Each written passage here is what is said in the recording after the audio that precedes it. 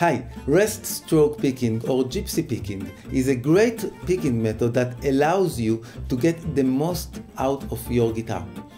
In this video, I'll be showing you how it sounds versus flat picking or alternate picking over a few of my guitars. I'll show you the fundamentals of this picking method and I will also invite you to a unique interactive workshop. Non-gypsy picking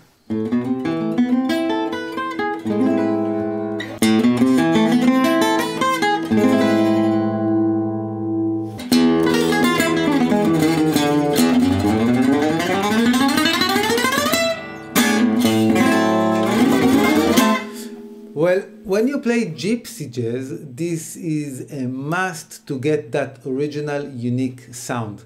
But not only with gypsy jazz. Joe Pass used the rest stroke picking as well, either when he played it acoustically.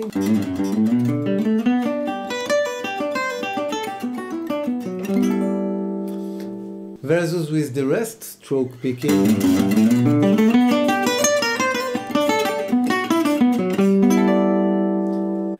Also when you connect your archtop to the amp, you can get that unique sound that you hear in Django's late electric recordings.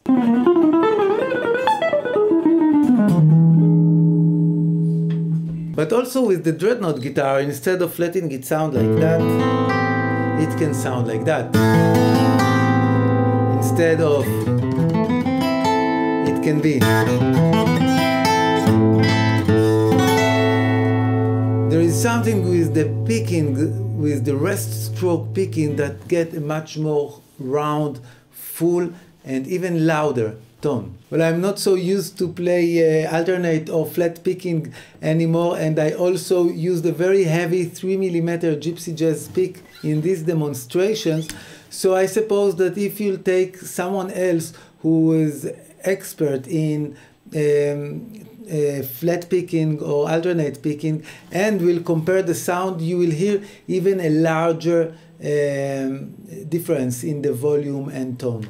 Many people who play rest stroke picking feel that they get tense and stuck, especially when they try to jump from a higher string to a lower string or when they want to play faster or when they play in real-time situation and get stressed versus playing at home. And that happened because they didn't really master the movement of the rest stroke picking, which is when I play the oud, it's the exact same movement. This picking method was used for hundreds of years over ancient instruments because before having the amplification, people had to get the maximum sound and volume from their acoustic instrument.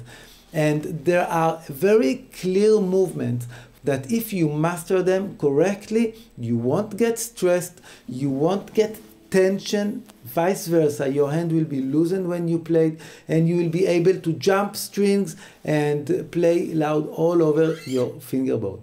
There are three movements that you must master to learn the rest stroke picking the downstroke, which comes from your elbow, yes, from the elbow, and you rest on the string below. Many people say, but when you play fast, we don't see you move your elbow, you move your wrist. But that's because I've learned to loosen my wrist. So I use my elbow and my wrist is very, very loosened. So when I play slow, you will see I use my elbow. When I play fast, you don't see it, but I started here and I ended here. It means that I used my elbow. So the first movement is how to pick the downstroke and rest on the string below from the elbow. The second movement is the sweep. When you play from a lower string to a higher string, it's like one movement that moves from your elbow and get that sound which is accurate at the same volume from a string to a string. And the last movement is the upstroke, which has to have the exact same volume as a downstroke. So if you get you need the, the upstroke doesn't sound very clear, you need to make it And in the upstroke, you don't use your elbow. Sound complicated? So let me invite you to a unique online workshop where I'll be able to see you the way you play and help you correct your rest stroke picking so you'll be able to play without any effort, without tense, so you can play fast, so you can skip strings, so you can do whatever you want while getting a clear and crisp sound. And especially if you want to play gypsy jazz and you want to get that unique Django Reinhardt sound in your playing and it doesn't matter what instrument you use.